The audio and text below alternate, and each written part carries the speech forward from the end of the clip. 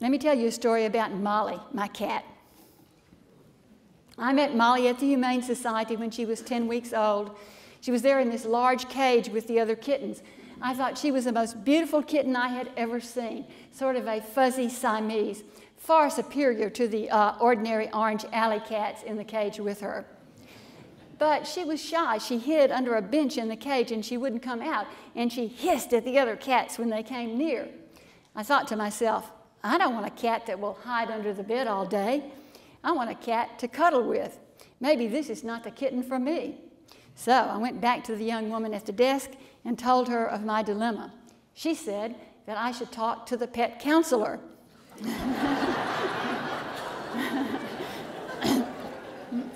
so Molly, Molly could be put on hold until I made up my mind. So I waited my turn and for the pet counselor, and uh, I thought I would, I would take a look at the grown cats that were up for adoption. Maybe, maybe it'd be better for me to get a grown cat. So as I went by, each cage had notes about the personality of the cat. It would read something like this Adorable six year old cat likes children. When frightened, pees on the floor.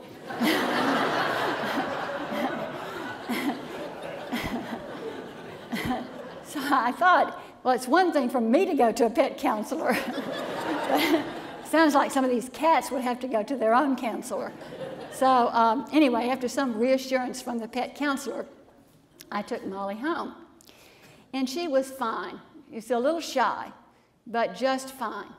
And then one day, a friend was over and she said to me, That's a really beautiful kitten. Too bad she has a crossed eye. And I looked at Molly and I looked at my friend and I said, No, she doesn't.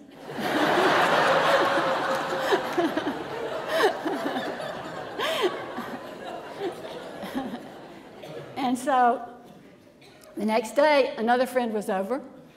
So I said casually to this friend, um, Say, uh, do you think that my uh, cat has a crossed eye?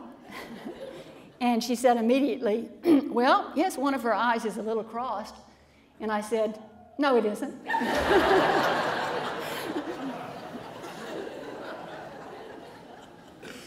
this is what it means to see with the eyes of love. Molly's eyes are precisely the way they are supposed to be. End of the story. So, beauty has many uses in human life, but no real intention except pleasure. Our attraction to something beautiful is instant as in, and is from the spirit, not from the logical brain. Beauty is insistent, it moves us. We may fall into awe. Beauty allows us to rest as though some puzzle piece has finally found its place. Beauty helps us to heal in a broken world. We're taken out of our workaday existence and we find ourselves in a space that is timeless and eternal.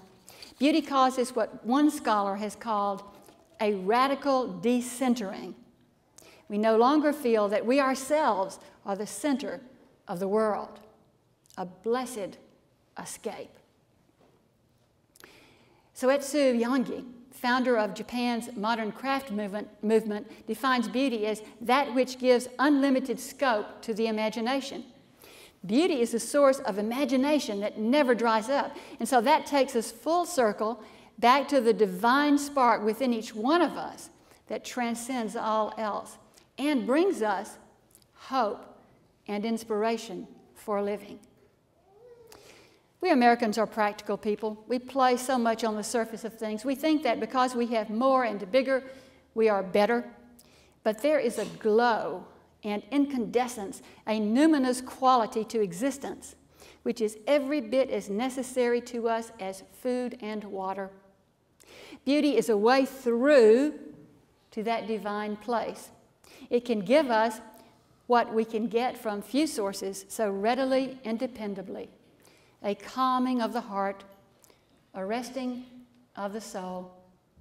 We are wanderers, journeymen on this earth. We are here only for a short time.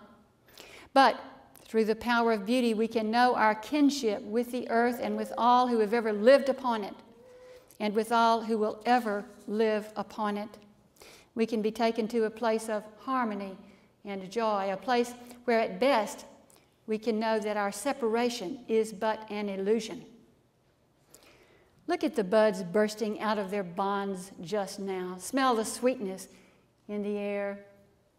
Give yourself time to really see the person you are with rather than rushing into talk.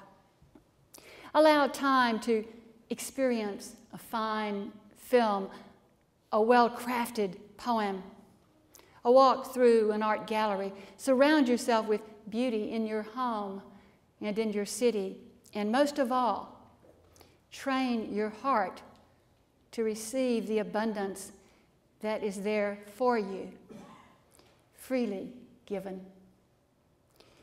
So be it. Amen.